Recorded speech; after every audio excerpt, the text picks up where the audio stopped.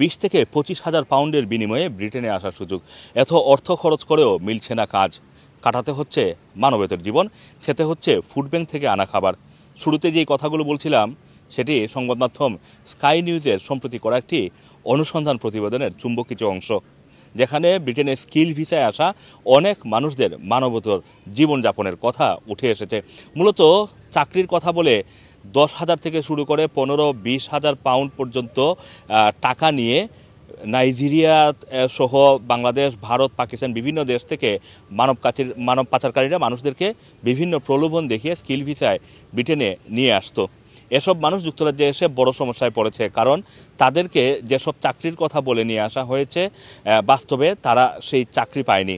অনুসন্ধানী প্রতিবেদনে বলা হয়েছে যে ব্লেসিংস নামের একজন নাইজেরিয়ান নারী দশ হাজার পাউন্ড খরচ করে ব্রিটেনে এসেছেন। স্কিল ভিসায় এখানে এসে দেখেন যে তাকে অফার করা হয়েছে যেই চাকরি, সেই চাকরিটি নেই। উপার্জন না থাকায় তিনি এখন নাইজেরিয়ান একটি কমিউনিটি সেন্টারের ফুড ব্যাংক থেকে খাবার এবং অন্যান্য জিনিসপত্রগুলো প্রতিদিন সংগ্রহ করছেন এবং সেগুলোর উপরেই এখন নির্ভরশীল হয়ে পড়েছেন। ব্লেসিং বলেন যে, নাইজেরিয়ায় তিনি বেশ সচ্ছল জীবনযাপন করছিলেন, কিন্তু এখানে এসে তাকে বেসিক চাহিদা মেটাতে মানুষের কাছ থেকে তা মানে দান পর্যন্ত নিতে হচ্ছে। এভাবে দালালের খপ পরে পরে নিজের সর্বস্ব হারিয়ে অসহায় জীবনযাপন করার জন্য নিজের বুকামিকেই দায়ী করছেন ব্লেসিং। নাইজেরিয়ান কমিউনিটি সেন্টারের প্রতিষ্ঠাতা মেরি আদিকৌবে বলেছেন যে, এভাবে মানুষকে স্কিল ভিসায় চাকরির প্রলোভন দেখিয়ে চাকরি দিতে না পারা লজ্জাজনক ঘটনা। বর্তমানে ফুড ব্যাঙ্ককে ফুড ব্যাংকে খাদ্য নেওয়া পঁয়ত্রিশ জনের মধ্যে পনেরো জন এভাবে স্কিল ভিসায় যুক্তরাজ্যে আসা মানুষ।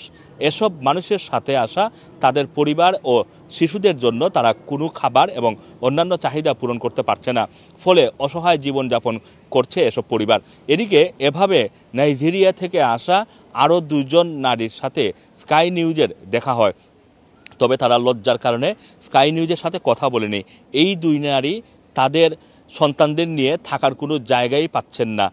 রাত হলে তারা একটি বাসে রাত কাটান। গত সপ্তাহে কমিউনিটি সেন্টারের পক্ষ থেকে তাদেরকে ব্রেড এবং টুনা ফিশ দেওয়া হয়। এমন আরেক দম্পতি হচ্ছেন এলেন এবং জোসি।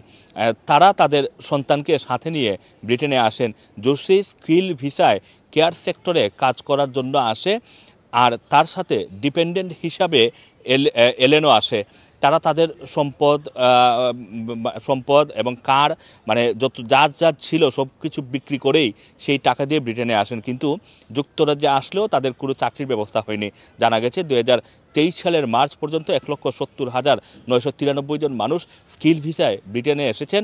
শুধুমাত্র স্বাস্থ্য এবং পরিচর্যা খাতে মানে কেয়ার সেক্টরে অনুদান অনুদান আড়াই গুণেরও বেশি বেড়েছে। এই সময়ে জারি করা যে সমস্ত কাজের ভিসার অর্ধেকেরও বেশি এই সেক্টরে এসেছে। এদিকে গত মার্চ থেকে পরিচর্যা কর্মী মানে কেয়ার হোম কেয়ার ভিসার যেই কেয়ার কর্মী এবং হোম কেয়ার কেয়ার, কেয়ারারদের চল্লিশ হাজার নয়শো ষোলো জনকে ভিসা দেওয়া হয়েছিল। ওয়েস্ট ইয়র্কশায়ারের ব্রাডফোর্ডে পাকিস্তানি এবং বাংলাদেশি সম্প্রদায়ের লোকেরা তাদের উদ্বেগ প্রকাশ করে জানিয়েছে যে কাজ করার জন্য যুক্তরাজ্যে এসে তারা থাকা এবং খাওয়ার জন্য লড়াই করছে। ব্রাডফোর্ডে গ্রেটার আল ফালাহ সুপার মার্কেটের মালিক মঈনুদ্দিন খান বলছেন যে, এসব মানুষ সব সময় কাজের জন্য আসছেন এবং তাদেরকে তার, এদের কিন্তু বেশিরভাগই স্কিল ভিসায় এসেছেন, কিন্তু তাদের কাজ নেই। অনেক লোকের এত বাজে অবস্থা যে তারা খাবারের জন্য ভিক্ষা পর্যন্ত করতে আসে। তিনি আরও বলেন, যারা চাকরির জন্য তার কাছে আসছে, তাদের অনেকেরই কাজের কোনো অভিজ্ঞতাই নেই। এমনকি স্কিল ভিসায় আসা অনেক মানুষ ইংরেজিতে কথাও বলতে পারে না।